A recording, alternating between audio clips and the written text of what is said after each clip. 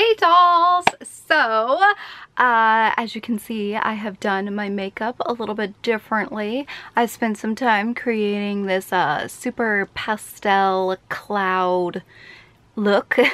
Just fun, it's different. You guys will see a couple videos on my channel filmed with this look on. So yes, anyway, I got a lot of requests to make a video about my new phone.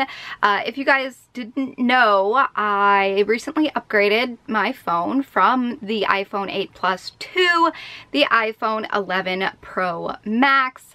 Uh, there is no particular specific reason for my upgrade other than the cameras.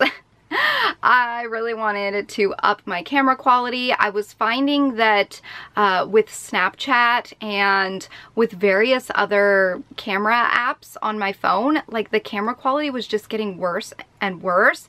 And I know that Apple kind of rigs their devices so that after about the two year mark, the batteries start going out, the quality starts going down, they start getting slower, and they do that intentionally to make their consumers purchase more upgraded, updated devices uh, basically just robbing people of their money, which is understandable. I get it. It's smart on their end, but it sucks on the consumer's end.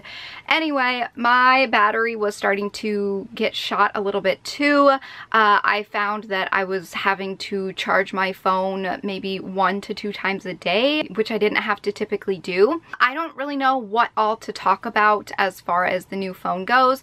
I have two cases for this phone currently. Uh, I'll go ahead and show these to you guys first. This first one is a Fantasyland Disneyland themed case and this is from Get It Creations on Instagram. I'll put the name right here on the screen. I am not affiliated with them at all. I just love their work so much.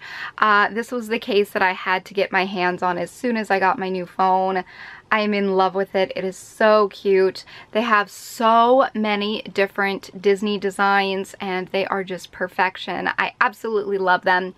And so yeah, this is the Fantasyland case that I have. This was the first case that I got for my phone. I was so excited to get it. And then the second case I have currently is just this really pretty pink sparkly one that I got off of eBay. And I have paired on there my Jeffree Star pop socket that I got in my Valentine's Day mystery box my Jeffree Star Cosmetics Valentine's Mystery Box. Uh, anyway, it's just a basic pink case. I will go ahead and link both of these in the description box if I can. With Get It Creations, she only opens her shop for limited times, so definitely check her Instagram for updates on when her shop is going to be open. So those are the two cases. I am expecting two more from AliExpress as well as two more kind of bling deco den style ones that I have ordered. Uh, but yes, about the phone, um, the cameras are amazing. Portrait mode on the front camera is absolutely phenomenal. I am obsessed.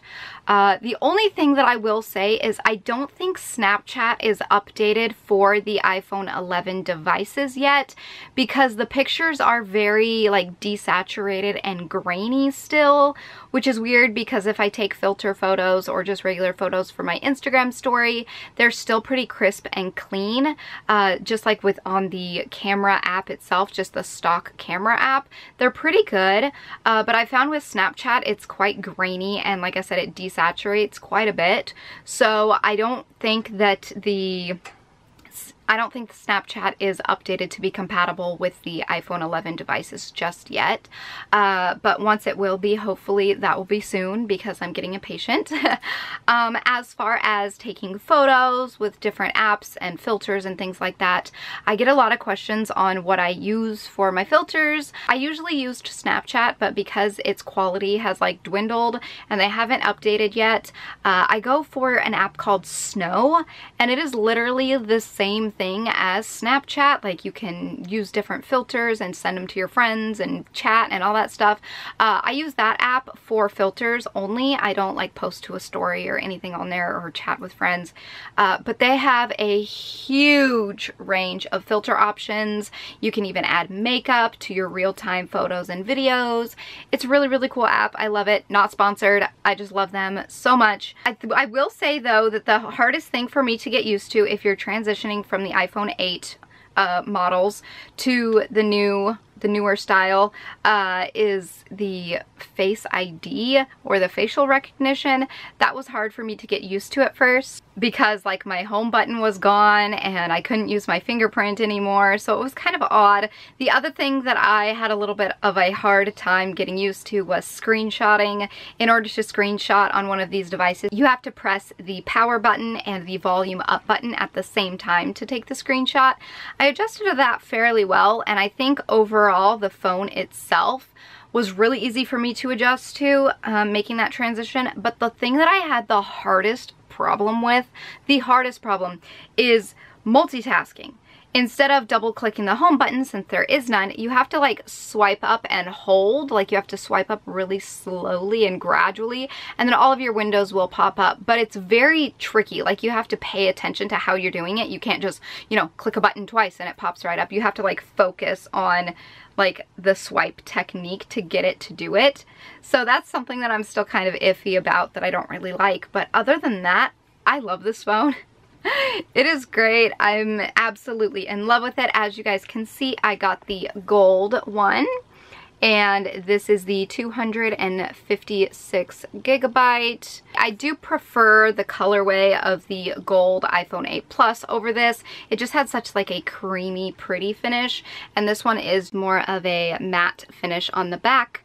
Uh, the cameras are really cool. You can film with both of your front camera and back camera at the same time using like an alternate app. I think the one that I have found is called Double Take and it's pretty cool. Uh, I haven't really done it yet, but I really want to try like vlogging, like a follow me around or something doing that. I think that would be really cool uh, to see it from both ways, kind of filmed like a uh, like a gaming like playthrough or something where you can see like the reaction and then what the person's looking at and doing.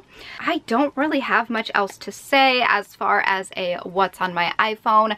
I don't plan to be doing one in the super near future because I did recently do one for my 8 Plus and not a lot has changed with this one. It's pretty much the same. I have the exact same setup, everything. Uh, my wallpapers have changed, but that changes constantly so that's like the only thing about my phone that changes all the time. The night mode is okay. I know that's one of the things that a lot of people have been wanting to get this phone for is like the night mode features and I know that that's what they touch on a lot in the commercials these days. Honestly I haven't been super impressed with the night mode but I never really would use it. I never would really take pictures in the dark anyway. So for me, that's not like a huge life-changing thing, but it is neat. It is a cool feature. Uh, and I love that when you're in portrait mode, you can change like the depth of the picture in a way, like meaning you can adjust the blur of the background. So it can be like subtly blurred or like super blurred. Uh, also, I love that when you are on your front camera that you can kind of click outward and it'll do like a wide angle shot rather than just like the up close normal camera. There's like two options there, which is really cool. And on the back camera, you have three options. You have three camera options on the back. You have the close-up kind of macro lens. You have your standard lens.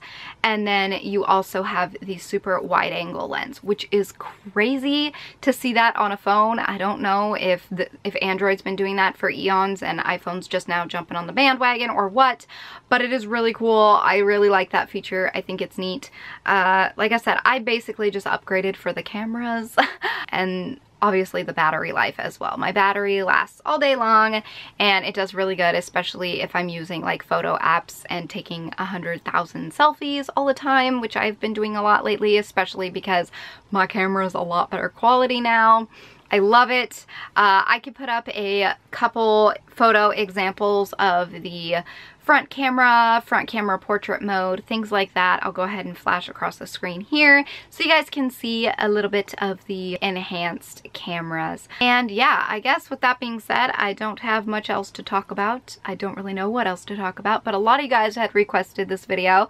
So I hope this was a little informative and you guys kind of got an idea. Usually I always make a video when I get a new device or a new phone. I'd kind of been doing that ever since my channel started like nine years ago. So uh, welcome to 2020. We have an iPhone 11 Pro Max and I know in five years from now, everyone's gonna be watching this video. Here in 2025, now we're rocking the iPhone 26 or, you know, some, some craziness. So I'm not gonna talk your ears off anymore. I'm gonna let you guys go. I hope this video was a little bit informative and it was kind of along the lines to what you guys wanted.